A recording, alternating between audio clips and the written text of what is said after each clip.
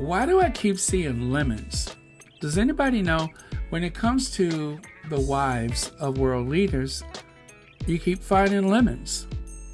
Yes, I'm going to include the Duchess of Sussex in that.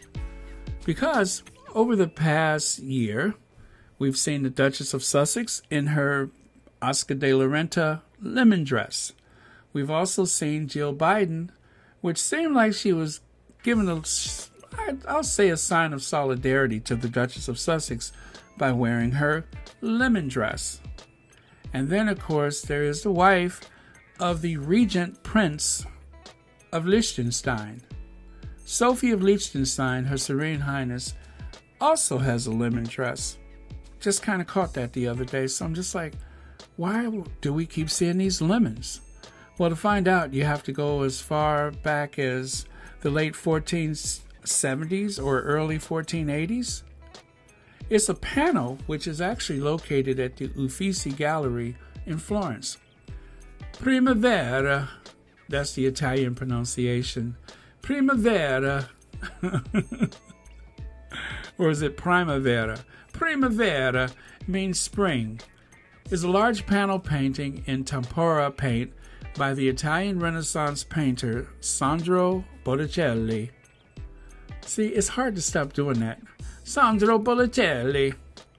Um, made in the late 1470s or early 1480s, dating may vary. It is, or should I say, it has been described as one of the most written about and most controversial paintings in the world, and also one of the most popular paintings in Western art. The painting depicts a group of figures from classical mythology in a garden, but no story has been found that brings this particular group together. Most critics agree that the painting is an allegory based on the lush growth of spring, but accounts of any precise meaning vary, though many involved in the Renaissance Neoplatonism, which then fashioned intellectual circles in Florence. The subject was first described as primavera by art historian Giorgio Vasari who saw it at a Villa Castello just outside of Florence in 1550. Why do I keep doing this Italian thing? I guess I just love that Italian accent. It is hot, isn't it? So the thing is, we don't know why the lemons. I mean, I guess it's just a really fun, cool pattern, but it's favored by Oscar de la Renta's designers. Because I think he passed away, didn't he? But anyway, um, it's a favorite pattern, and I guess it originated with Oscar de la Renta, I guess. But anyway, that style they say was inspired by that painting, which I think the actual painting is oranges and not lemons, but who knows? I think it's really cool though. So you got the kind of aqua marine blue background, and then you have a field of uh, lemons in the foreground. So pretty cool. So when it comes to Sophie of Liechtenstein, was that a subtle nod, possibly? I mean, I hate to sound like one of the tabloids, but she is a princess. She is known as Her Serene Highness. That's how you style her name. And, well, um, yeah, I mean, the actual hereditary prince of Liechtenstein is still alive, but his son is serving as a regent. And unfortunately, Princess Marie, uh, the princess consort, recently passed away, and so that's how I just happened to come across the lemon dress. So, pretty cool.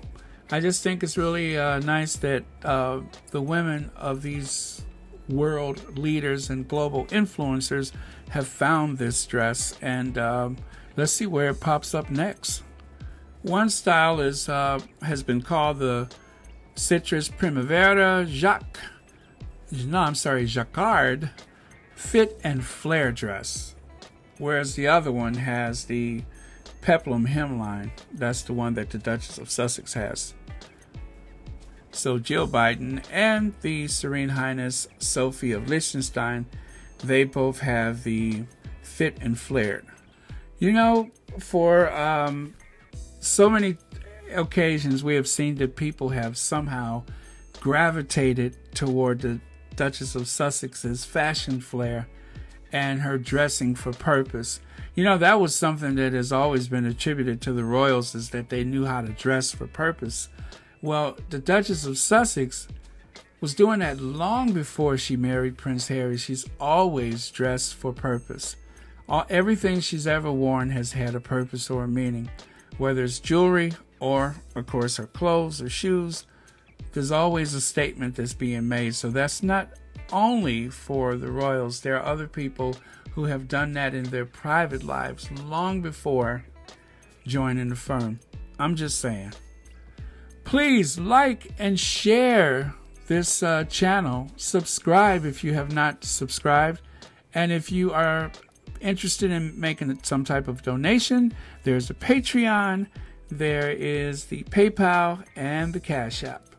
But for the people who have supported this channel with their monthly um, subscriptions, yeah, with their monthly, I guess super chats is what you call it. I see, I don't even know, but whatever it is. thank you, you guys. Uh, it definitely makes a difference. I appreciate all of the donations I have received. And also, thank you again to the moderators.